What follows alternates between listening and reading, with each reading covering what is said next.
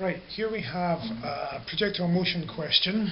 Uh, so, problem is Justin Bieber is thrown screaming from the top of a cliff, which is 122.5 metres tall, with a horizontal velocity of 10 metres per second. Off he goes.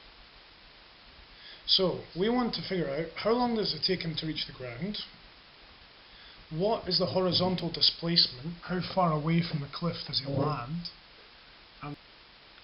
so we've drawn our diagram as we normally do with these sorts of problems and we've started to populate our SUVAT table. Now his initial velocity, because he's being projected horizontally, his vertical velocity would be zero. He's not really started falling yet at the point he leaves the cliff. So we're going to concentrate on uh, the vertical velocities and timings because the first question is how long does it take him to reach the ground? Question of time. So this is a very useful equation for falling and you'll notice that the initial velocity uh, vertically is zero, so the first expression there cancels. We'll then just run through the motions, using a bit of algebra to rearrange everything, substituting our... Now we've got to figure out how far he travels away from the cliff. Now, the time taken to fall uh, vertically is exactly the same time it takes to fall horizontally, in this case, or as travel horizontally, I should say. So it will still be 5 seconds. Uh, from then it's simply a matter of velocity times time.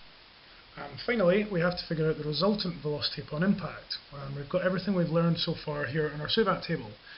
Now, velocity is a vector quantity, therefore it has magnitude and direction. So we're going to need to figure out what velocity hits at and the angle.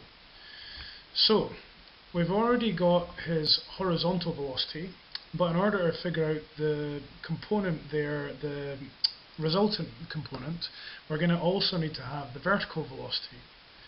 So, we're going to use this equation here, chuck in what values I've got, and this will give me an answer of 49.05 meters per second. That's pretty speedy and unfortunate for Justin.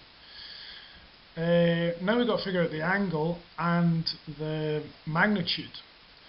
So, using a bit of Pythagoras, we're going to chuck the values we have in so far there, and that will give us a resultant velocity of 50.01 meters per second. And uh, then using a little bit of trigonometry, figure out the angle, uh, which will be 78.48 degrees.